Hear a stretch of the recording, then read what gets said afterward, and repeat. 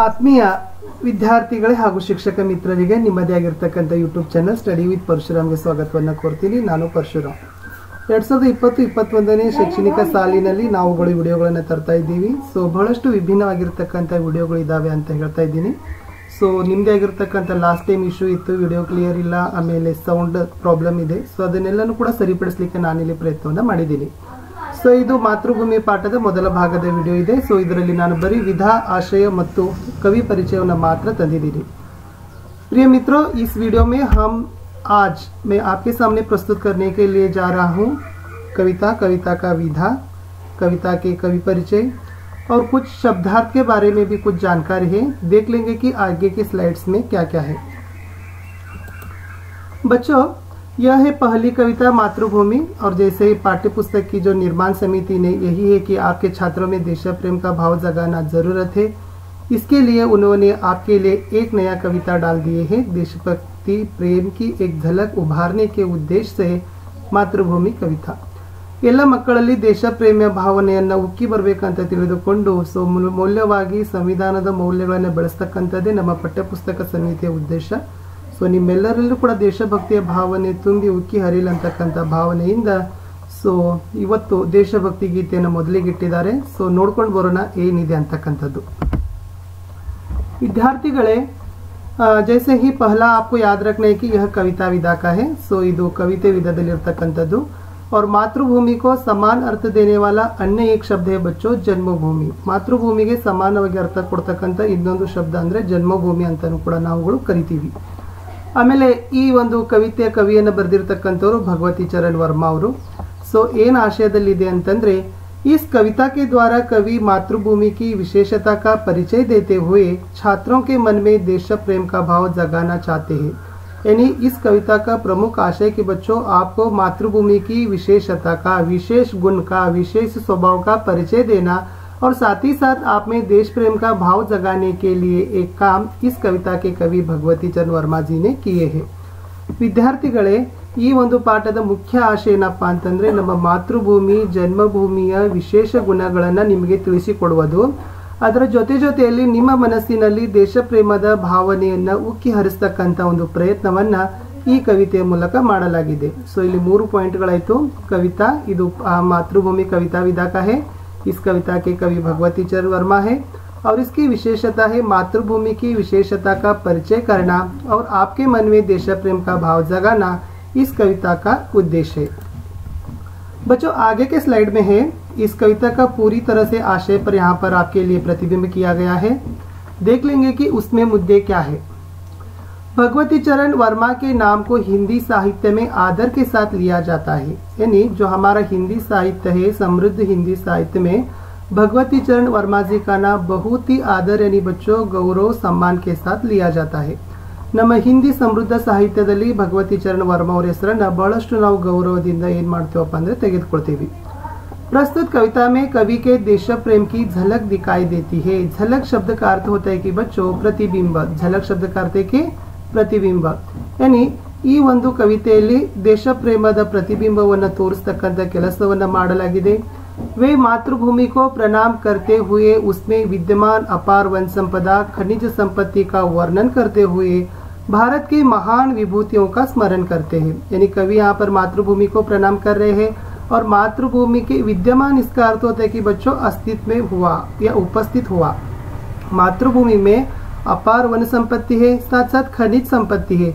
इन दोनों का भी वर्णन किए हैं और करके भी हमारे भारत के महान विभूति महान श्रेष्ठ व्यक्तियों के श्रेष्ठ साधु संतों के बारे में यहाँ पर स्मरण या स्मरण या याद करने का काम ಕವಿ ಕೆ ದ್ವಾರ ಹುವಾ ಹೇ ಬಚ್ಚೋ ಇಲ್ಲಿ ಮಾತೃಭೂಮಿಗೆ ನಮಸ್ಕರಿಸುತ್ತಾ ಏನ್ ಮಾಡಿದಾರಪ್ಪ ಅಂದ್ರೆ ಮಾತೃಭೂಮಿಯಲ್ಲಿ ಅಸ್ತಿತ್ವದಲ್ಲಿರ್ತಕ್ಕಂಥ ವನ ಸಂಪತ್ತು ಮತ್ತು ಖನಿಜ ಸಂಪತ್ತಿನ ಕುರಿತು ಏನ್ ಮಾಡಿದ್ದಾರೆ ವರ್ಣನೆ ಮಾಡಿದ್ದಾರೆ ಜೊತೆ ಜೊತೆಗೆ ಭಾರತದ ಮಹಾನ್ ವ್ಯಕ್ತಿಗಳನ್ನು ಕೂಡ ನೆನಪಿನಲ್ಲಿ ಮಾಡ್ತಕ್ಕಂಥ ಕೆಲಸ ಇಲ್ಲಿ ಕವಿ ಮಾಡಿದ್ದಾರೆ इस कविता से भारत की महानता का परिचय प्राप्त होता है महानता बच्चों इसका अर्थ है कि श्रेष्ठता ಈ ಒಂದು ಕವಿತೆಯ ಮೂಲಕ ಭಾರತದ ಶ್ರೇಷ್ಠತೆಯನ್ನು ಪ್ರತಿಬಿಂಬಿಸ್ತಕ್ಕಂಥ ಪರಿಚಯವನ್ನು ಸಹಿತ ಮಾಡಿದ್ದಾರೆ ಸೊ ಇಷ್ಟಿತ್ತು ಈ ಆಶಯದಲ್ಲಿ ತಾವುಗಳು ತಿಳಿದುಕೊಂಡಿದ್ದೀರಾ ಅಂತಕ್ಕಂಥ ನನ್ನದು ಭಾವನೆ ಮಕ್ಕಳೇ ಸೊ ಈ ಪಾಠದಲ್ಲಿ ಹೊಸ ಪರಿಚಯಗಳಿದ್ದಾವೆ. ಸೊ ಬಹಳಷ್ಟೇನಿಲ್ಲ. ಸುಮಾರು ಒಂದು ಐದು, ಆರು ಹೊಸ ಪರಿಚಯಗಳು ತಮಗೆ ಕಾಣ್ತಾ ಇದ್ದಾವೆ. ಶಾಯಿತ್ ಅಂದರೆ ಸೋಯಾ ಅಮರ ಅಂದರೆ ಮೃತ್ಯುಹೀನ, ಜೋ ಕಬಿ ನಹಿ ಮರ್ತಾ. ಇದು ಸ್ವಲ್ಪ ಇಂಪಾರ್ಟೆಂಟ್ ಇದೆ, ನೆನಪಿನ ಇಟ್ಕೊಡ್ರಿ ಅಮರ್, ಮೃತ್ಯುಹೀನ, ಜೋ ಕಬಿ ನಹಿ ಮರ್ತಾ. ಯಾರು ಯಾವತ್ತಿಗೂ ಕೂಡ ಸಾವು ಇಲ್ಲದೆ ಇರೋನಿಗೆ ನಾವೇನಂತ ಕರಿತೀವಪ್ಪ ಅಂದ್ರೆ ಅಮರ ಅಂತೀವಿ. ಸೊ ಈ ಅಮರ ಶಬ್ದದ ವಿರುದ್ಧಾರ್ಥಕ ಪದ ಮರ್ತ್ಯ ಅಂತಲೂ ಕೂಡ ಕರಿತೀವಿ. ಹಸ್ತ ಅಂದ್ರೆ ಹಾತ್ ಸುಹಾನೆ ಅಂದರೆ ಸುಂದರ್, ಧಾಮ್ ಅಂದರೆ ಘರ್, ಗೂಂಜ್ನಾ ಅಂದರೆ ಪ್ರತಿಧ್ವನಿತ್ ಹೋನಾ. ಸೊ ಈ ಶಬ್ದಾರ್ಥದಲ್ಲಿ ಹೊಸ ಪದಗಳಲ್ಲಿ ಸ್ವಲ್ಪ ಅಮರ ಜೋ ನೈ ಮಾಡ್ತಾ ಅದನ್ನ ಸ್ವಲ್ಪ ನೆನಪಿನಲ್ಲಿ ಇಟ್ಕೊಂಡ್ರೆ ಬಹಳಷ್ಟು ರೀತಿಯಾಗಿರ್ತಕ್ಕಂಥ ಎಲ್ಲ ಪರಿಚಯಗಳ ಪದಗಳು ತಮಗೆ ಗೊತ್ತೇ ಇದ್ದಾವೆ ಇನ್ನು ಮುಂದೆ ಮೋಸ್ಟ್ ಇಂಪಾರ್ಟೆಂಟ್ ಆಗಿರ್ತಕ್ಕಂಥದ್ದು ಏನು ಕವಿತೆಯನ್ನು ಬರೆದಿರ್ತಕ್ಕಂಥ ನಮ್ಮ ಹಿಂದಿ ಸಾಹಿತ್ಯದ ಶ್ರೇಷ್ಠ ಕವಿ ಉಪನ್ಯಾಸಕಾರರಾಗಿರ್ತಕ್ಕಂಥ ಭಗವತಿ ಚರಣ ವರ್ಮಾ ಅವರ ಪರಿಚಯವನ್ನು ನೋಡ್ಕೊಂಡು ಬರೋಣ. बच्चों, जो हिंदी साहित्य में कवि ही नहीं, बल्कि श्रेष्ठ उपन्यास, उपन्यासकार के नाम से रोशन हुए, प्रसिद्ध हुए भगवती चंद वर्मा जी का यहाँ पर थोड़ी सी परिचय है, वहाँ पर हम प्राप्त कर कर लेकर आएँगे। बच्चों, आपको यहाँ पर एक दो दो तिथि दिखाई दे रही है, डेट से आपको याद रखनी है। 1903 में भगवती चंद वर्मा जी का जन्म हुआ 1981 में उनकी निधन हुई, क्लियर हुआ। आगे है। श्री भगवती चरण वर्मा जी का जन्म 30 अगस्त 1903 को उन्नावा जिले उत्तर प्रदेश में है शफीपुर गांव में हुआ था ಭಗವತಿ ಚರಣ್ ವರ್ಮಾ ಅವರು ಹುಟ್ಟಿಕೊಂಡಿರ್ತಕ್ಕಂಥದ್ದು ಮೂವತ್ತು ಆಗಸ್ಟ್ ಹತ್ತೊಂಬತ್ತು ನೂರ ಮೂರು ಉನ್ನಾವ ಜಿಲ್ಲೆಯ ಶಫಿಪುರ್ ಅಂತಕ್ಕಂಥ ಊರಿನಲ್ಲಿ इन्होंने इलाहाबाद से बीए एलएलबी की उपाधि प्राप्त कर ली या डिग्री प्राप्त कर ली बच्चों यहाँ इलाहाबाद है इलाहाबाद में एक विश्वविद्यालय है यानी इलाहाबाद के विश्वविद्यालय से इन्होंने बीए और एलएलबी की डिग्री ने प्राप्त कर ली है ಇವರು ಇಲಹಾಬಾದ್ ವಿಶ್ವವಿದ್ಯಾಲಯದಿಂದ ಬಿ ಎ ಮತ್ತು ಎಲ್ ಎಲ್ ಬಿಯ ಒಂದು ಪದವಿಯನ್ನು ಪಡೆದುಕೊಂಡಿದ್ದಾರೆ. ಇನ್ಹೋನೆ ವಿಚಾರ್ ಔರ್ ನವಜೀವನ್ ನಾಮಕ್ ಪತ್ರಿಕಾ ಅಂಕ ಸಂಪಾದನ್ ಕಿಯಾ ಇವರು ವಿಚಾರ ಮತ್ತು ನವಜೀವನ ಅಂತಕ್ಕಂಥ ಎರಡು ಪತ್ರಿಕೆಗಳನ್ನು ಸಂಪಾದನೆಯನ್ನು ಮಾಡಿದ್ದಾರೆ. ಆಕಾಶವಾಣಿಗೆ ಕೈ ಕೇಂದ್ರೋ ಮೇ ಬಿ ಸೇವಾ ಕಿ. ಇವರು ರೇಡಿಯೋ ವಿಭಾಗದಲ್ಲಿನ ಕೆಲವು ಕೇಂದ್ರಗಳಲ್ಲಿಯೂ ಕೂಡ ಕೆಲಸವನ್ನು ಮಾಡಿದ್ದಾರೆ. ಉನ್ಕೆ ಚಿತ್ರಲೇಖ ಉಪನ್ಯಾಸ ಪರ್ ದೋ ಬಾರ್ ಫಿಲ್ಮ್ ನಿರ್ಮಾಣ ಹುವ. ಇವರ ಒಂದು ಚಿತ್ರಲೇಖ ಅಂತ ಒಂದು ಏನು ಒಂದು ಉಪನ್ಯಾಸ ಕಾದಂಬರಿ ಇದೆ. ಅದರ ಮೇಲೆ ಎರಡು ಸಾರಿ ಫಿಲ್ಮ್ ನಿರ್ಮಾಣ ಅಂದ್ರೆ ಚಲನಚಿತ್ರ ನಿರ್ಮಾಣಗೊಂಡಿದೆ. ದೂಸರಾ ಉಪನ್ಯಾಸ ಭೂಲೆ ಬಿಸ್ರೆ ಚಿತ್ರ ಸಾಹಿತ್ಯ ಅಕಾದಮಿಸೆ ಪುರಸ್ಕೃತೆ. ಎರಡನೆಯ ಶ್ರೇಷ್ಠ ಉಪನ್ಯಾಸ ಭೂಲೆ ಬಿಸ್ರೆ ಚಿತ್ರಕ್ಕೆ ಸಾಹಿತ್ಯ ಅಕಾಡೆಮಿ ಪುರಸ್ಕಾರ ಸಿಕ್ಕಿದೆ. ಅಪನೆ ಖಿಲೌನೆ, ಪತನ್, ತೀನ್, ಶರ್ಷ್, ಟೇಡೆ ಮೇಡೆ ರಾಸ್ತೆ, ಯುವರಾಜ ಚುಂಡ, ಏಹ ಉಪನ್ಯಾಸೆ. ಇವರು ಬರೆದಿರ್ತಕ್ಕಂಥ ರಚನೆಗಳಲ್ಲಿ, ಕೃತಿಗಳಲ್ಲಿ ಕಾದಂಬರಿಗಳು ಯಾವ್ಯಾವ ಇದಾವಪ್ಪ ಅಂದ್ರೆ ಅಪನೆ ಖಿಲೌನೆ ಇದೆ, ಪತನ್ ಇದೆ, ತೀನ್ ಶರ್ಷ್ ಇದೆ, ಟೇಡೆ ಮೇಡೆ ರಾಸ್ತೆ, ಯುವರಾಜ ಚುಂಡ. ಇದು ಶರ್ಷ್ ಅಲ್ಲ ಮಕ್ಕಳೇ, ವರ್ಷ ಅಂತ ಆಗಬೇಕು. ತೀನ್ ವರ್ಷ ಓಕೆ ಇವು ಕಾದಂಬರಿಗಳಾದ್ರೆ ಮೇರಿ ಕಹಾನಿಯ ಮೋರ್ಚಾಬಂದಿ ತಥಾ ಸಂಪೂರ್ಣ ಕಹಾನಿಯ, ಕಹಾನಿ ಸಂಗ್ರಹ. ಇವರು ಬರೆದಿರ್ತಕ್ಕಂಥ ಕಥೆಗಳ ಸಂಕಲನ ಏನಪ್ಪಾ ಅಂದ್ರೆ ಮೇರಿ ಕಹಾನಿಯ ಒಂದು ಇದೆ, ಮತ್ತೆ ಎರಡನೇದು ಮೋರ್ಚಾ ಬಂದಿ, ತಥಾ ಸಂಪೂರ್ಣ ಕಹಾನಿ ಅಂತಕ್ಕಂಥದ್ದು ಎರಡು ಪುಸ್ತಕಗಳು ಕಥೆಗಳ ಸಂಕಲನ. ಮೇರಿ ಕವಿತಾಯೇ ಸವಿನಯ ಏಕ್ ನಾರಾಜ್ ಕವಿತಾ ಕವಿತಾ ಸಂಗ್ರಹ ಸೊ ಇವ್ರು ಬರೆದಿರ್ತಕ್ಕಂಥ ಒಂದು ಕಾವ್ಯ ಸಂಕಲನಗಳು ಮೇರಿ ಕವಿತಾಯೇ ಸವಿನಯ ಮತ್ತು ಏಕ್ ನಾರಾಜ್ ಕವಿತಾ ಅಂತಕ್ಕಂಥದ್ದು ಕವನಗಳ ಸಂಕಲನ. ಮೇರೆ ನಾಟಕ್ ವಸಿಯತ್ ನಾಟಕ್ ಆದಿ ಉನ್ಕಿ ಅನ್ಯ ಲೋಕಪ್ರಿಯ ಕೃತಿಯ ಹೇ. ಸೊ ಮೇರೆ ನಾಟಕ್ ಅಂತಕ್ಕಂಥ ಮತ್ತು ವಸಿಯತ್ ಇವೆರಡು ನಾಟಕಗಳನ್ನು ಬರೆದಿದ್ದಾರೆ. ಬಹಳಷ್ಟು ಲೋಕಪ್ರಿಯ ಕೃತಿಗಳನ್ನು ಅವರು ಕೊಟ್ಟಿದ್ದಾರೆ. पाँच अक्टूबर उन्नीस सौ ಇಕಾಸಿಕ को वर्माजी का देहांत ಅಕ್ಟೋಬರ್ हुआ अक्टोबर ಎಂಬತ್ತೊಂದರಂದು ವರ್ಮಾಜಿಯವರು वर्माजी ಸೊ सो इत मोस्ट ಆಗಿರತಕ್ಕಂಥದ್ದು, ನೀವು ನೆನಪಿನಲ್ಲಿ तीस अगस्त उन्नीस सौ तीन को उत्तर प्रदेश राज्य के उन्नावा ज़िले के शफीपुर गाँव में जन्म हुआ। इलाहाबाद विश्वविद्यालय से बीए एलएलबी की डिग्री प्राप्त कर ली। विचार और नवजीवन इनकी दो पत्रिकाएँ हैं। चित्रलेखा पर दो बार फ़िल्म निर्माण हुआ। भूले बिसरे चित्र के लिए साहित्य अकादमी पुरस्कार मिला। उपन्यास कहानी संग्रह कविता संग्रह नाटक इनकी अलग अलग प्रकार की रचनाएँ लिखे है। पाँच अक्टूबर 1981 को इनका देहांत हुआ। सो इष्ट ಇಲ್ಲಿ ನೆನಪಿನಲ್ಲಿಟ್ಕೊಳ್ತಕ್ಕಂಥ सो ई जिसमें इस इमेज में या इस चित्र में आप लोग दिख रहे हैं। सो so, शायद यही है कि भगवती चरण वर्मा जी हिंदी के श्रेष्ठ कवि और उपन्यासकार हैं और इन्होंने बहुत कुछ अलग अलग अनमोल कृतियाँ हिंदी साहित्य के लिए देन दिए हैं। आगे के स्लाइड में है कवि के बारे में अतिरिक्त जानकारी यानी एक कवि के नाते होते भी हम लोग साहित्य में रुचि होना है और साहित्य के रुचि पर अलग अलग प्रकार का ज्ञान भी हमें होना जरूरत है बच्चों यानी इनकी दो पत्रिका है जो विचार यह साप्ताहिक पत्रिका थी और नवजीवन दैनिक पत्रिका थी ಇವರು ಆ, ಹೊರಡಿಸಿರ್ತಕ್ಕಂಥ ಎರಡು ಪತ್ರಿಕೆಗಳಲ್ಲಿ ವಿಚಾರ ಇದು ಸಾಪ್ತಾಹಿಕ ವಾರಕ್ಕೆ ಒಂದು ಸಾರಿ ಬಂದ प्यारे मित्रों आप सभी को आपके YouTube channel study with Parshuram में स्वागत है यह है मातृभूमि कविता का दूसरा भाग और पहला भाग का वीडियो आप जरूर देखना उस पहला भाग का वीडियो का लिंक इस वीडियो के डिस्क्रिप्शन बॉक्स में रखता हूँ देख लेना ಆತ್ಮೀಯ ವಿದ್ಯಾರ್ಥಿಗಳೇ ಇದು ಮಾತೃಭೂಮಿ ಕವಿತೆ ಎರಡನೆಯ ಭಾಗದ ಒಂದು ವಿಡಿಯೋ ಮೊದಲ ಭಾಗದ ವಿಡಿಯೋವನ್ನು ತಾವು ತಪ್ಪದೇ ನೋಡಿ ಅದರ ಒಂದು ಲಿಂಕನ್ನು ಈ ವಿಡಿಯೋದ ಡಿಸ್ಕ್ರಿಪ್ಷನ್ ಬಾಕ್ಸ್ನಲ್ಲಿ ಹಾಕಿರ್ತೀನಿ ನೋಡಿ ವಿಷಯವನ್ನು ಅರಿತುಕೊಳ್ಳಲಿಕ್ಕೆ ಪ್ರಯತ್ನವನ್ನು ಮಾಡಿ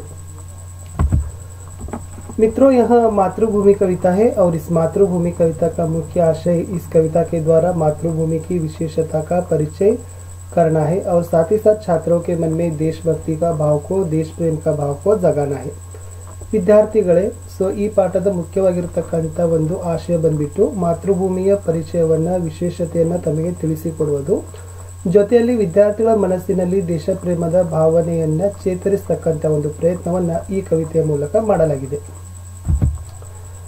ಸೊ ಕಡೆಯ, ಅಂದರೆ ಕೊನೆಯ ವಿಡಿಯೋದ ಇದು ಮುಂದುವರಿದಾದಕ್ಕಿರ್ತಕ್ಕಂಥ ಭಾಗ ಇದೆ. ಕವಿಕೆ ಬಾರೆಮೇ ಅತಿರಿಕ್ತ ಜಾನ್ಕಾರಿ ಕವಿಯ ಕುರಿತಾಗಿರ್ತಕ್ಕಂಥ ಹೆಚ್ಚುವರಿ ಮಾಹಿತಿ. ವಿಚಾರ ಸಾಪ್ತಾಹಿಕ ಪತ್ರಿಕಾ, ನವಜೀವನ್ ದೈನಿಕ್ ಪತ್ರಿಕಾ ಪತ್ರಹೇ ಭಗವತಿ ಚಂದ್ ವರ್ಮಾ ಅವರು ಎರಡು ಪತ್ರಿಕೆಗಳನ್ನು ಸಂಪಾದನೆಯನ್ನು ಮಾಡಿದರು. ಅದು ವಿಚಾರ ಮತ್ತು ಎರಡನೇದು ನವಜೀವನ. ಈ ವಿಚಾರ ಪತ್ರಿಕೆ ಸಾಪ್ತಾಹಿಕ ಪತ್ರಿಕೆ ಅಂದ್ರೆ ವಾರಕ್ಕೆ ಒಂದು ಸರಿ ಪ್ರಕಟಗೊಂಡ್ರೆ ನವಜೀವನ ದೈನಿಕ ಅಂದ್ರೆ ಪ್ರತಿದಿನವೂ ಕೂಡ ಪ್ರಕಟಗೊಳ್ಳತಕ್ಕಂಥ ಒಂದು ಪತ್ರಿಕೆಯಾಗಿತ್ತು.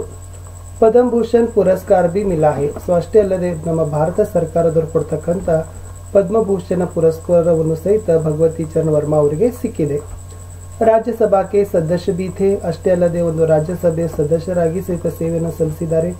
ಇನ್ಕಿ ಪಹಲಿ ರಚನಾ ಪತ್ರ ಉನ್ನಿಸ್ ಸೌ ಅಟ್ಟಾಯಿಸ್ ಪ್ರಕಾಶಿತ ಹುಯಿತಿ ಸೊ ಇವರು ಬರೆದಿರ್ತಕ್ಕಂಥ ಮೊದಲ ಒಂದು ಕೃತಿ ಅಂದರೆ ಪತನ್ ಅದು ಸಾವಿರದ ಒಂಬೈನೂರ ಇಪ್ಪತ್ತೆಂಟರಲ್ಲಿ ಪ್ರಕಾಶನಗೊಂಡಿತ್ತು ಏ ಕವಿ ನಹಿ ಉಪನ್ಯಾಸಕಾರ ಬಿ ಥೇ ಸೊ ಇವರು ಕವಿ ಅಷ್ಟೇ ಅಲ್ಲದೆ ಒಬ್ಬ ಶ್ರೇಷ್ಠ ಕಾದಂಬರಿಕಾರರು ಉಪನ್ಯಾಸಕಾರ ಅಂದರೆ ಕಾದಂಬರಿಕಾರರಾಗಿ ಭಗವತಿ ಚರಣ್ ವರ್ಮಾ ಅವರು ಹಿಂದಿ ಸಾಹಿತ್ಯದಲ್ಲಿ ಪ್ರಸಿದ್ಧಿಯನ್ನು ಪಡೆದಿದ್ದಾರೆ ಇದು ಅವರ ಕುರಿತಾಗಿರ್ತಕ್ಕಂಥ ಸ್ವಲ್ಪ ಹೆಚ್ಚುವರಿಯಾಗಿರ್ತಕ್ಕಂಥ ಮಾಹಿತಿ मित्रों, यहाँ पर दो उपन्यास के बारे में जो छायाचित्र तस्वीर में आपको दिखाने के लिए प्रयास किया हूँ, ये बहुत ही महत्वपूर्ण है जानकारी के उद्देश्य से।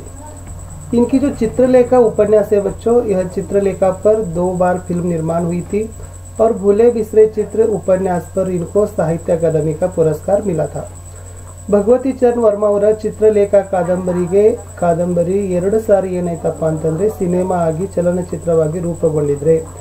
ಅವರ ಒಂದು ಕಾದಂಬರಿ ಆಗಿರ್ತಕ್ಕಂಥ ಭೂಲೆ ಬಿಸಿರೆ ಚಿತ್ರಕ್ಕೆ ಚಿತ್ರಕ್ಕೆ ಏನಾಯ್ತಪ್ಪ ಅಂತಂದರೆ ಸಾಹಿತ್ಯ ಅಕಾಡೆಮಿ ಪುರಸ್ಕಾರ ಸಿಕ್ಕಿತು. ಆ ಎರಡು ಕಾದಂಬರಿಗಳ ಒಂದು ಚಿತ್ರವನ್ನು ಸೊ ಇಲ್ಲಿ ನಾನು ತೋರಿಸ್ಲಿಕ್ಕೆ ಪ್ರಯತ್ನವನ್ನು ಮಾಡಿದ್ದೀನಿ. ಸೊ ಚಿತ್ರಲೇಖ ಉಪನ್ಯಾಸದ ಮೇಲೆ ನಿರ್ಮಾಣಗೊಂಡಿರ್ತಕ್ಕಂಥ ಚಲನಚಿತ್ರ ಚಿತ್ರಲೇಖ. ಅದು ಪುಷ್ಪ ಪಿಕ್ಚರ್ಸ್ ಅವರು ಒಂದು ಇದನ್ನು ಮಾಡಿದರು. ಇದರಲ್ಲಿ ಮುಖ್ಯವಾಗಿ ಅಶೋಕ್ ಕುಮಾರ್ ಅವರು ನಾಯಕ ನಟನಾದರೆ ಮೀನಾ ಕುಮಾರಿ ಅವರು ನಾಯಕ ನಟಿಯಾಗಿದ್ದರು ಚಿತ್ರಲೇಖ ಅಂತಕ್ಕಂಥದ್ದೊಂದು ಚಲನಚಿತ್ರ. ಸೊ ನೋಡೋಣ ಏನಿದೆ ಚಿತ್ರಲೇಖ ಅಂತಕ್ಕಂಥದ್ದು. ಚಿತ್ರಲೇಖ ಉಪನ್ಯಾಸ ಪ್ರಕಾಶನ ಹುವಾ ಉನ್ನಿಸ್ ಸೌ ಮೇ ಸೊ ಚಿತ್ರಲೇಖ ಕಾದಂಬರಿ ಪ್ರಕಾಶನ ಮಾಡಿದ್ದು ಭಗವತಿ ಚರ್ಮ ವರ್ಮ ಅವರು ಸಾವಿರದ ಒಂಬೈನೂರ ಮೂವತ್ತ್ನಾಲ್ಕರಲ್ಲಿ ಉನ್ನಿಸ್ ಚಿತ್ರಲೇಖ ಫಿಲ್ಮ್ ನಿರ್ಮಾಣ ಹುಯಿ. ಆದ್ರೆ ಸಾವಿರದ ಒಂಬೈನೂರ ಅರವತ್ನಾಲ್ಕರಲ್ಲಿ ಚಿತ್ರಲೇಖಾದ ಮೇಲೆ ಚಲನಚಿತ್ರ ನಿರ್ಮಾಣಗೊಂಡಿತು. ಇಸ್ಕೆ ನಿರ್ದೇಶಕ ಕೇದಾರ್ ಶರ್ಮಾ ಕೇದಾರ್ ಶರ್ಮಾ ಅವರು ಇದರ ನಿರ್ದೇಶಕರಾಗಿದ್ದರು ಅಶೋಕ್ ಕುಮಾರ್ ಅವರು ಮೀನಾ ಕುಮಾರಿ, ತಾರಾ ಗನ್ಮೇಥೆ ಸೊ ಇದರ ಒಂದು ನಾಯಕ ನಟ ಅಶೋಕ್ ಕುಮಾರ್ ಆದರೆ ಮೀನಾ ಕುಮಾರಿ ಅವರು. ನಾಯಕ ನಟಿಯಾಗಿ ಏನು ಮಾಡಿದ್ರಪ್ಪ ಅಂದ್ರೆ ಅದರ ಒಂದು ತಾರೆಯರ ಬಳಗದಲ್ಲಿ ಇದ್ದರು यह ಉಪನ್ಯಾಸ ಅವ್ರ ಫಿಲ್ಮ್ का ಮುಖ್ಯ ಉದ್ದೇಶ है कि ಪಾಪ ಪುಣ್ಯ की ಸಮಸ್ಯೆ ಇದು ಫಿಲ್ ಅಂತ ಇದೆ ಫಿಲ್ಮ್ ಅಂತ ಆಗ್ಬೇಕು ಸ್ವಲ್ಪ ದಯಮಾಡಿ ಟೈಪಲ್ ಆಗಿರ್ತಕ್ಕಂಥದ್ದು ಸಮಸ್ಯೆ ಸೊ ಹಾಗಾದ್ರೆ ಇದು ಫಿಲ್ಮು ಮತ್ತು ಉಪನ್ಯಾಸ ಆಯಿತು ಆದ್ರೆ ಮುಖ್ಯ ಉದ್ದೇಶ ಇದರಲ್ಲಿ ಏನು ತೋರಿಸಿದಾರಪ್ಪ ಅಂದ್ರೆ ಪಾಪ ಪುಣ್ಯಕ್ಕೆ ಸಮಸ್ಯೆ ಸೊ ಮುಖ್ಯವಾಗಿ ಪಾಪ ಅಂದ್ರೆ ಏನು ಪುಣ್ಯ ಅಂದ್ರೆ ಏನು ಆ ಪಾಪ ಪುಣ್ಯದ ಸಮಸ್ಯೆಗಳ ಒಂದು ವಿಷಯದ ತಿರುಳು ಈ ಕಾದಂಬರಿ ಮತ್ತು ಚಲನಚಿತ್ರದಲ್ಲಿ ಇದೆ ಅದಕ್ಕಾಗಿ ಇದು ಎರಡು ಸಾರಿ ಏನಾಯ್ತಪ್ಪ ಅಂತಂದ್ರೆ ಚಲನಚಿತ್ರವಾಗಿ ರೂಪುಗೊಂಡಿತು ಭಗವತಿ ಚರಣ ವರ್ಮ ಅವರ ಶ್ರೇಷ್ಠವಾಗಿರ್ತಕ್ಕಂಥ ಕಾದಂಬರಿ ಚಿತ್ರಲೇಖ. ಇಷ್ಟೆಲ್ಲ ಇತ್ತು. ಸೊ ಇವತ್ತು ಸ್ವಲ್ಪ ಕವಿತೆಯನ್ನು ಪ್ರಾರಂಭಿಸೋಣ. ಇದು ಮೊದಲವಾಗಿರ್ತಕ್ಕಂಥ ಚಂದ ಮೊದಲ ಕಾವ್ಯಾಂಶ ಇದೆ. ಮಾತೃಭೂ ಶತಶತ ಬಾರ ಪ್ರಣಾಮ್ ಅಮರೌಕಿ ಜನನಿ ತುಮಕು, ಶತಶತ ಬಾರ ಪರ್, ಪ್ರಣಾಮ್, ಮಾತೃಭೂ ಶತಶತ ಬಾರ ಪ್ರಣಾಮ್, ತೇರೆ ಉರುಮೆ ಶಾಯಿತ ಗಾಂಧಿ ಬುದ್ಧ ಔರ ರಾಮ್, ಮಾತೃಭೂ ಶತಶತ ಬಾರ ಪ್ರಣಾಮ್. ಸೊ ಇಷ್ಟು ಕಾವ್ಯಾಂಶ ಇತ್ತು ಮಕ್ಕಳೇ ಸೊ ಇದರಲ್ಲಿ ಸ್ವಲ್ಪ ನಾನು ನಿಮ್ಗೆ ಹೇಳ್ತೀನಿ. ಮಾತೃಭೂ ಅಂದರೆ ಮಾತೃಭೂಮಿ, ಶತ ಶತ ಅಂದರೆ ಸೌ ಸೌ, ಪ್ರಣಾಮ್ ಅಂದರೆ ನಮಸ್ಕಾರ ಅಂತೀವಿ, ಅಮರ್ ಅಂದರೆ ಜೋ ಕಭಿ ನಹಿ ಮರ್ತಾ, ಜನನಿ ಅಂದರೆ ಮಾ ಮಾತಾ ಅಂತೀವಿ. ಸೊ ಶಾಯಿತ್ ಅಂದರೆ ಸೋಯೆ ಉಹೆ ಅಂತೀವಿ. ಸೊ ಇಷ್ಟು ಊರ ಅಂದ್ರೆ ಹೃದಯ ಅಂತೀವಿ. ಸೊ ಇದು ಹೊಸ ಶಬ್ದಗಳ ಅರ್ಥ. ಮಾತೃಭೂಮಿ, ಸೌ ಸೌ, ನಮಸ್ಕಾರ, ಅಮರ್, ಜೋ ಕಭಿ ನಹಿ ಮರ್ತಾ, ಜನನಿ ಏನಿ ಮಾ.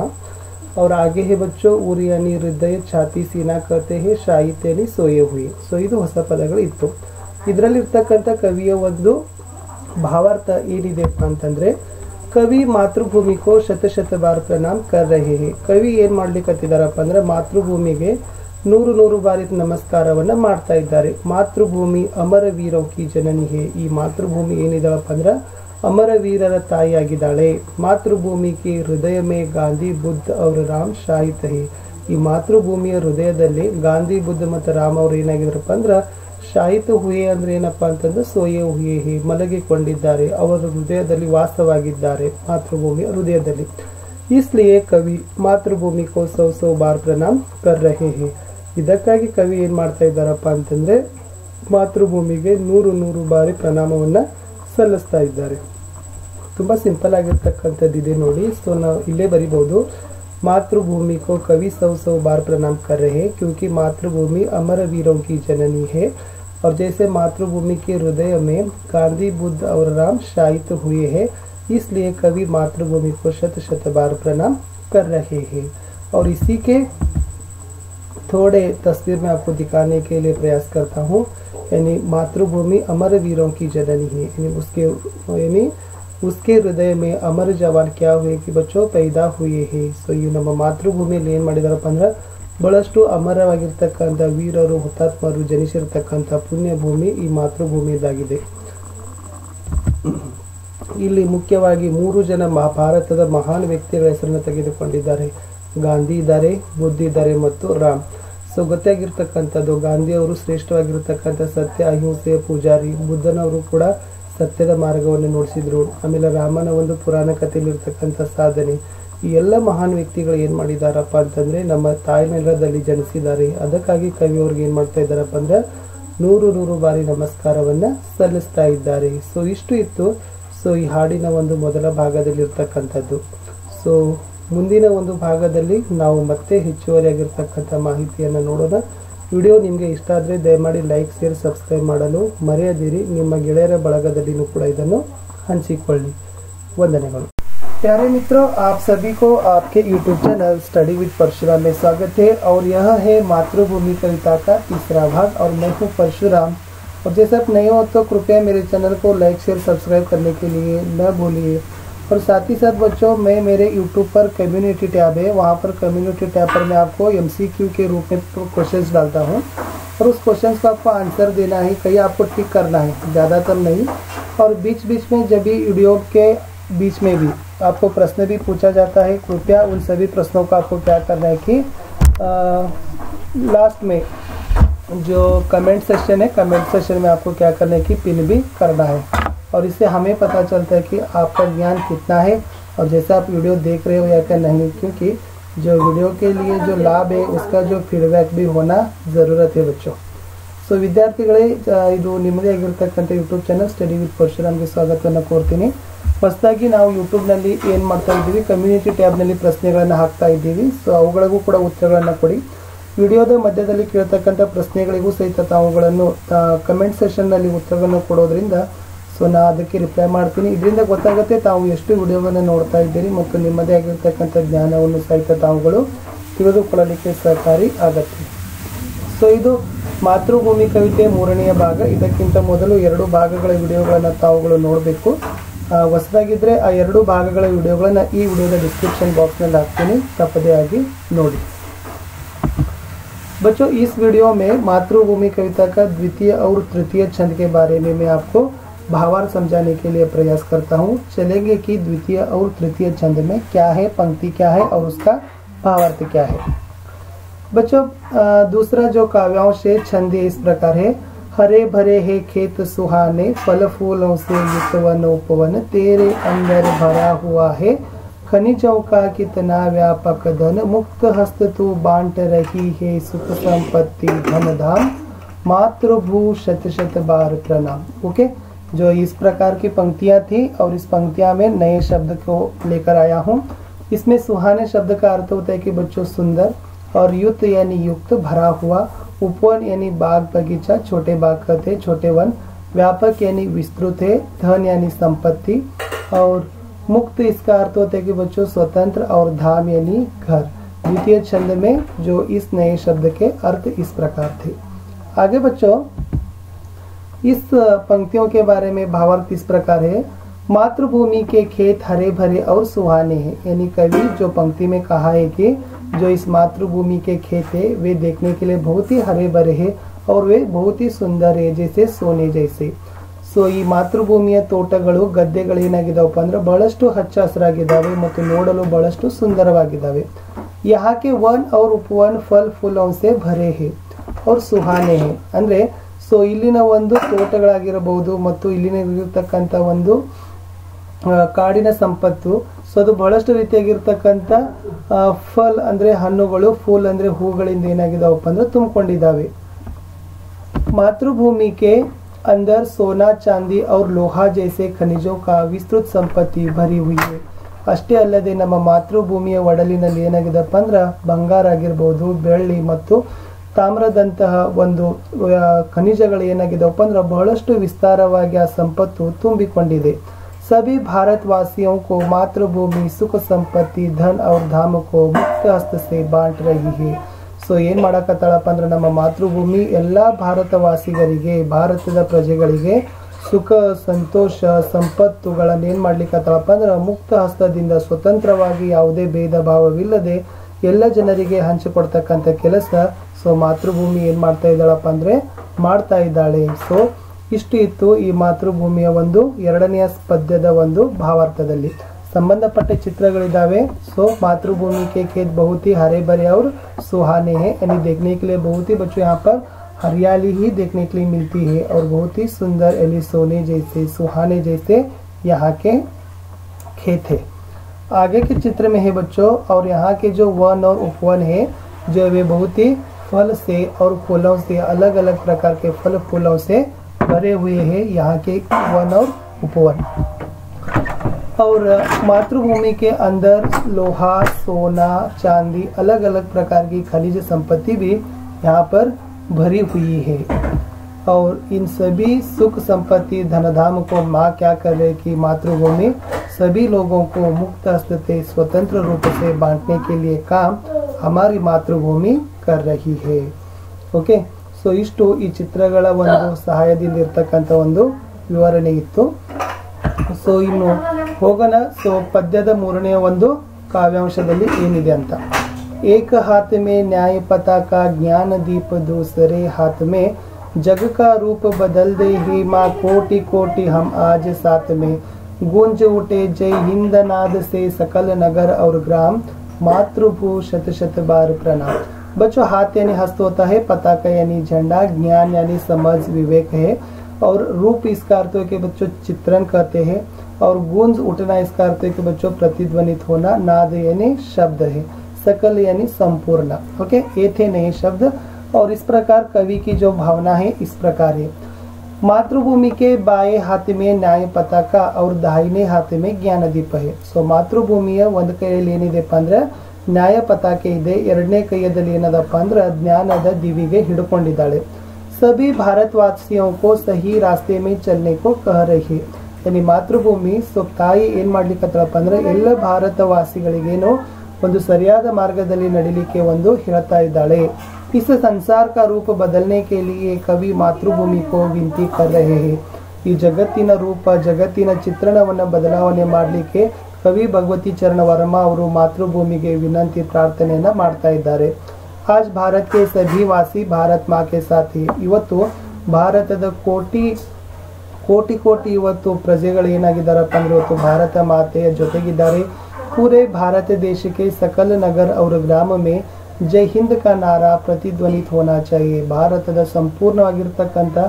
ಊರುಗಳಲ್ಲಾಗಿರ್ಬೋದು, ಗ್ರಾಮಗಳಲ್ಲಾಗಿರ್ಬೋದು, ಜೈ ಹಿಂದ್ ಅಂತಕ್ಕಂಥ ಶಬ್ದ ಅದು ಎಲ್ಲ ಕಡೆನೂ ಕೂಡ ಪ್ರತಿಧ್ವನಿತ ಆಗಬೇಕಾಗಿದೆ. ಎಲ್ಲ ಕಡೆನೂ ಕೂಡ ಪ್ರತಿಧ್ವನಿಸಲಿಕ್ಕೆ ಆಗಬೇಕು. ಜೈ ಹಿಂದ್ ಅಂದರೆ ಏನಪ್ಪ ಅಂದರೆ ಹಿಂದೂಸ್ತಾನ್ ಕೇಲಿಗೆ ಜೈ ಹೋ, ಭಾರತಕ್ಕೆ ಜೈವಾಗಲಿ. ಸೊ ಇಷ್ಟು ಇತ್ತು ಈ ಪದದ ಒಂದು ಮುಖ್ಯವಾಗಿರ್ತಕ್ಕಂಥ ಭಾವಾರ್ಥ. ಸಂಬಂಧಪಟ್ಟಂತೆ ಚಿತ್ರಗಳಿದ್ದಾವೆ ಏನೇ भारत माँ के एक हाथ में न्याय पताका है और दूसरे हाथ में ज्ञान दीप है। और न्याय पताका इसका अर्थ होता है कि बच्चों, सभी भारतवासियों को यहाँ पर एक ही प्रकार का न्याय है। और ज्ञान दीप इसका अर्थ होता है कि बच्चों, भारत में जो अंधकार, हटे और सभी सभी तरफ़ क्या होना है कि ज्ञान का दीप, ज्ञान का रोशनी फैलना है। आगे के चित्र में है, सभी भारतवासी आज मातृभूमि के साथ है। कवि कह रहे कि जग का रूप बदल देने के लिए कवि मातृभूमि को विनती कर रहे हैं। और पूरी तरह से भारत के सकल नगर और ग्राम में क्या होना है कि बच्चों, जय हिंद का नारा क्या होना है? प्रतिध्वनित होना चाहिए। और जय हिंद शब्द का अर्थ होता है कि बच्चों, भारत के लिए जय हो। इसलिए कवि कह रहे कि भारत के लिए जीत होना है। और यह जो शब्द है, जय हिंद सभी नगर, सकल नगर और ग्राम में प्रतिध्वनित होना है। इसलिए कवि भगवती चरण वर्मा मातृभूमि को सौ सौ बार प्रणाम कर रहे हैं। ಸೊ ಇಷ್ಟು ಈ ಹಾಡಿನ ಎರಡು ಮತ್ತು ಮೂರನೆಯ ಸಾಲುಗಳಲ್ಲಿರ್ತಕ್ಕಂಥ ಒಂದು ಭಾವಾರ್ಥ ಇತ್ತು. ಶಬ್ದಗಳ ಜೊತೆಗೆ ಚಿತ್ರದ ಮಾಧ್ಯಮದಿಂದ ಬಹಳಷ್ಟು ವಿಸ್ತಾರವಾಗಿ ನಾನು ನಿಮಗೆ ವಿವರಣೆಯನ್ನು ಮಾಡಿದ್ದೀನಿ. ಇದಕ್ಕೆ ಸಂಬಂಧಪಟ್ಟಂತೆ ಇನ್ನೂ ವಿಡಿಯೋಗಳನ್ನು ಮುಂದಿನ ಭಾಗದಲ್ಲಿ ತರ್ತೀನಿ. ಸೊ ದಯಮಾಡಿ ತಮಗೆ ವಿಡಿಯೋ ಇಷ್ಟ ಆದರೆ ಲೈಕ್, ಶೇರ್, ಸಬ್ಸ್ಕ್ರೈಬ್ಗಳನ್ನು ಮಾಡಿ. ಸಿಗುವ ಮುಂದಿನ ವಿಡಿಯೋದಲ್ಲಿ.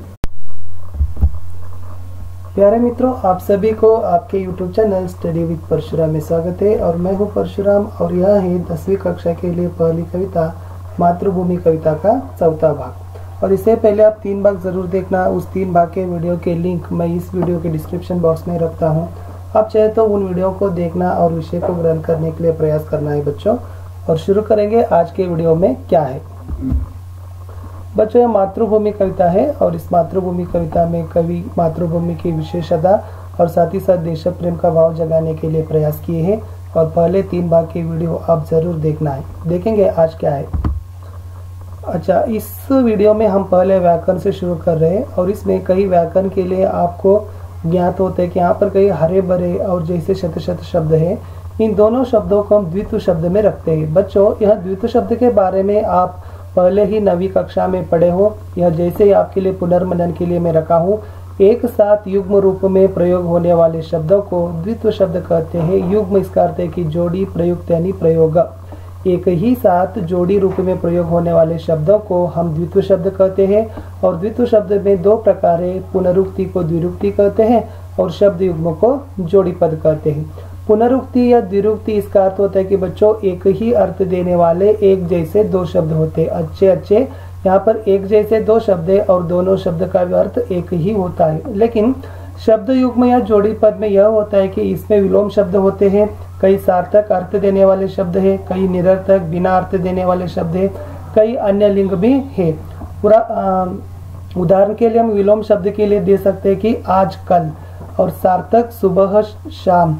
और यहाँ पर मेज वेज है मेज है तो सार्थक शब्द है और वेज यानी निरर्थक शब्द पैसा वैसा ओके इस प्रकार डांट डपट चाय वाय ये सार्थक निरर्थक शब्द और अन्य लिंग शब्द के लिए हम दे सकते हैं कि माँ बाप भाई बहन लड़का लड़की ओके ಸೊ ಒಂದೇ ಸಾರಿ ಜೋಡಿ ರೂಪದಲ್ಲಿ ಪ್ರಯೋಗವಾಗ್ತಕ್ಕಂಥ ಶಬ್ದಗಳಿಗೆ ನಾವು ದ್ವಿತ್ವ ಶಬ್ದ ಅಂತ ಕರಿತೀವಿ ಈ ದ್ವಿತ್ವ ಶಬ್ದದಲ್ಲಿ ಎರಡು ಪ್ರಕಾರಗಳು ಪುನರುಕ್ತಿ ಇದನ್ನ ದ್ವಿರುಕ್ತಿ ಅಂತ ಕರೆದ್ರೆ ಶಬ್ದ ಯುಗ್ಮಕ್ಕೆ ನಾವು ಜೋಡಿ ಪದ ಅಂತ ಕರಿತೀವಿ ಇಲ್ಲಿ ಪುನರುಕ್ತಿ ಅಂದ್ರೆ ಏನಪ್ಪಾ ಅಂದ್ರೆ ಒಂದೇ ಅರ್ಥವನ್ನು ಕೊಡ್ತಕ್ಕಂಥ, ಒಂದಾಗಿರ್ತಕ್ಕಂಥ ಎರಡು ಶಬ್ದಗಳಿರ್ತವೆ. ಆದರೆ ಶಬ್ದ ಯುಗ್ಮ ಅಥವಾ ಜೋಡಿ ಪದಗಳಲ್ಲಿ ಏನಿರ್ತದಪ್ಪ ಅಂದ್ರೆ ಅದು ವಿರುದ್ಧಾರ್ಥಕ ಶಬ್ದಗಳಾಗಿರ್ಬೋದು ಲಿಂಗ ಆಗಿರ್ಬೋದು ಸಾರ್ಥಕವಾಗಿರ್ತಕ್ಕಂಥ ಶಬ್ದಗಳು ಅಂದ್ರೆ ಅರ್ಥ ಕೊಡ್ತಕ್ಕಂಥದ್ದು ಮತ್ತು ಅರ್ಥ ಕೊಡದೇ ಇರ್ತಕ್ಕಂಥ ನಿರರ್ಥಕ ಶಬ್ದಗಳು ಕೂಡ ಅದು ಒಳಗೊಂಡಿರ್ತದೆ. ಸೊ ಇಷ್ಟು ತಾವು ತಿಳಿದುಕೊಳ್ಬೇಕು. ಇಲ್ಲಿ ಪುನರುಕ್ತಿಯಲ್ಲಿ ತಾವು ಶತ ಶತ ಕೋಟಿ ಕೋಟಿ ಇದೆಯಲ್ಲ ಅದು ಎಲ್ಲ ಪುನರುಕ್ತಿಗೆ ಬರುತ್ತೆ. ಸ್ವ ಶತ ಶತ ಕೋಟಿ ಕೋಟಿ ಮತ್ತು ಶಬ್ದ ಯುಗ್ಮಕ್ಕೆ ಹರೆ ಬರೆ. ಓಕೆ ಈ ಸೊ ಈ ಥರ ಆಗಿರ್ತಕ್ಕಂಥ ಶಬ್ದಗಳೆಲ್ಲ ಏನಾಗ್ತದಪ್ಪ ಅಂದ್ರೆ ಅದು ಶಬ್ದ ಯುಗ್ಮಕ್ಕೆ ಉದಾಹರಣೆಗೆ ಕೊಡ್ತಕ್ಕಂಥ ಶಬ್ದಗಳು. ಇದನ್ನು ಸ್ವಲ್ಪ ತಾವುಗಳು ಪುನರ್ಮನನ ಮಾಡಿಕೊಂಡ್ರೆ ಬಹಳಷ್ಟು ಒಳ್ಳೆಯದು ಸೊ ಮುಂದೆ ಹೋಗುವ. ಸೊ ಅಭ್ಯಾಸದಲ್ಲಿ ಒಂದು ವಾಕ್ಯದಲ್ಲಿ ಉತ್ತರವನ್ನು ಕೊಡ್ತಕ್ಕಂಥ ಪ್ರಶ್ನೆಗಳಿದ್ದಾವೆ ಏಕ ವಾಕ್ಯ ಉತ್ತರಲಿಕ್ಕೆ ಕವಿ ಕಿಸೆ ಪ್ರಣಾಮ್ ಕರ್ ರಹೇ ಹೇ. ಉಸ್ಕಾ ಉತ್ತರ ಬಚ್ಚೋ. ಕವಿ ಮಾತೃಭೂಮಿ ಕೋ ಪ್ರಣಾಮ್ ಕರ್ ರಹೇ ಹೇ. वही प्र, उसी प्रकार दूसरा प्रश्न है बच्चों भारत माँ के हाथों में क्या है? यानी भारत माँ के हाथों में न्याय पताका और ज्ञान दीप है। प्रश्न तीन है आज माँ के साथ कौन है? और इसका उत्तर है बच्चों आज माँ के साथ करोड़ों भारतवासी है। उसी प्रकार प्रश्न चार है सभी और क्या गूंज उठा है? और इसका उत्तर है बच्चों सभी और जय हिंद का नाद गूंज उठा है। प्रश्न पाँच है भारत के खेत कैसे है? और उसका उत्तर है भारत के खेत हरे भरे और सुहाने हैं। प्रश्न छह है, भारत भूमि के अंदर क्या क्या भरा हुआ है? और उसका उत्तर है, भारत भूमि के अंदर वन संपदा और खनिज संपत्ति भरा हुआ है। प्रश्न सात है, बच्चों, सुख संपत्ति धनधाम को माँ कैसे बांट रही है? उत्तर है, सुख संपत्ति धनधाम को माँ मुक्त हस्त से बांट रही है। प्रश्न आठ है, जग के रूप को बदलने के लिए कवि किससे निवेदन करते हैं? उत्तर है जग के रूप को बदलने के लिए कवि मातृभूमि से निवेदन करते हैं। प्रश्न नवे, बच्चों, जय हिंद का नाद कहाँ कहाँ पर गूंजना चाहिए? उत्तर है जय हिंद का नाद सकल नगर और ग्राम में गूंजना चाहिए। ये थे बच्चों पहले नौ प्रश्न एक वाक्य के उत्तर लिखने के लिए। अब यहाँ पर दूसरा प्रश्न आता है बच्चों, मुख्य रूप से दो तीन वाक्यों में उत्तर लिखना है। इसमें पहला प्रश्न है, भारत माँ के प्रकृति सौंदर्य का वर्णन कीजिए। यहाँ पर मुद्दे आपको लिखना है कि, भारत माँ के खेत हरे भरे और सुहाने हैं और यहाँ के वन उपवन फल फूलों से भरे हुए हैं और मातृभूमि के अंदर अपार खनिज संपत्ति विस्तृत है, यानी व्यापक है। उसी प्रकार दूसरा प्रश्न है, बच्चों, मातृभूमि का स्वरूप कैसे सुशोभित है? उत्तर है, मातृभूमि के एक हाथ में न्याय पताका और दूसरे हाथ में ज्ञान दीप है। कवि जग का रूप बदलने के लिए निवेदन कर रहे हैं। आज माँ के साथ करोड़ों भारतवासी है। मातृभूमि अमरों की जननी है और इसके उर में गांधी, बुद्ध और राम शाहित है। ये थे मुद्दे पहले दो प्रश्न के लिए। बच्चों, अब है मुख्य प्रश्न तीन पर अनुरूपता के लिए प्रश्न लिखना है। वसीयत नाटक है और चित्रलेखा उपन्यास है। शत शत द्विरुक्ति है, हरे भरे शब्द युग्म है बाएँ हाथ में न्याय पताका है और दाहिने हाथ में ज्ञान दीप है। हस्त इसका अर्थ होता है कि बच्चों, हाथ है और पताका को हम झंडा, ध्वजा या परहरा भी कहते हैं।